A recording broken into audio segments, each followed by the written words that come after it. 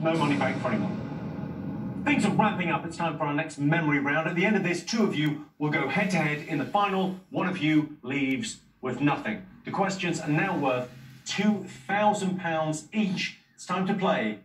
I literally just told you.